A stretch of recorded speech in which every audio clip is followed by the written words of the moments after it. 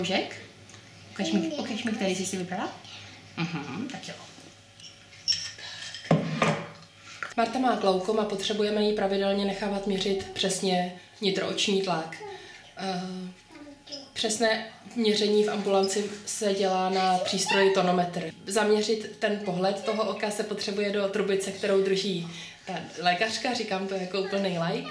A v závěru toho zaměřování se z té, ten přístroj se přiblíží k oku a z toho přístroje vlastně vyjde silný vzdušný proud, jako foukne to prostě tomu, tomu člověku do oka, do toho měřeného. No a problém byl, že Martě to hodně vadilo, a prostě se toho bála, nechtěla. Bojkotovala nám ta vyšetření. To by pro nás znamenalo muset jít s Martou do celkové narkózy na tři dny do nemocnice. Takže nám na tom hodně záleželo, aby ta vyšetření nebyla takhle mařena tou Marty neochotou. Přemýšleli jsme, co s tím.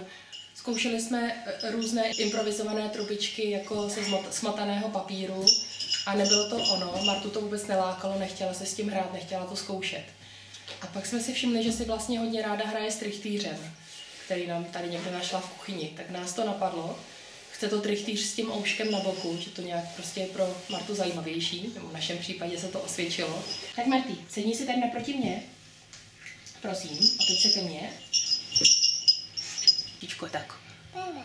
To je levý očičko. Kuky, kuky, kuky. Kuky. Ještě pořádně foukni, kuky, kuky. Jo, výborně. A teďko já? Tak jo, tak koukej. Kuky, kuky, kuky. Kouká. Kuky, kuky, kuky, kuky, kuky. Kuky, kuky, kouká. Jo.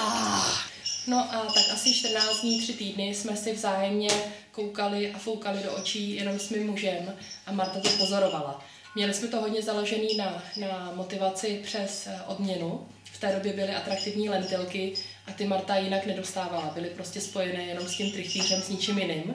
No a vzájemně, vzájemně jsme se s manželem odměňovali. Takže jsme se snažili Martu utáhnout na ty lentilky, aby to chtěla zkoušet taky. A ty tři týdny to vydrželo, že nás sledovala a viděla, jak se vlastně vzájemně odměňujeme e, za tu spolupráci do té trubky jak se odměňujeme tou lentilkou. A když jí chtěla, jak jsme říkali, ale to je jenom prostě za ten trichtýř, za to, za to koukání do, do kukátka. Za kuky kuky jsme říkali, kuky kuky.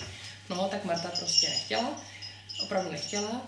A potom přišla doba, kdy sama začala říkat, že by to taky chtěla zkusit, protože tak moc chtěla tu lentilku. A my jsme jí říkali, ale přece to Marta, Marta se toho bojí, toho fouknutí, to nejde, Martulko, prostě ne, tohle to, to není pro tebe hračka.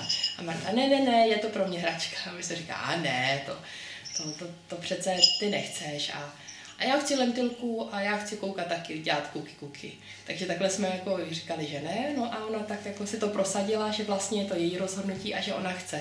A tím to začalo, tím začala eh, hezky trénovat s tím kukátkem a od té doby vlastně je ochotná s ním cvičit.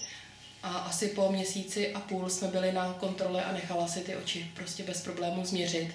S tím, že v ordinaci jsme tu motivaci trochu ještě vyšponovali výš, že jsme sebou vzali kinder vajíčko, což je něco, co opravdu vůbec nedostává, zná to jenom z obchodu, hrozně potom touží.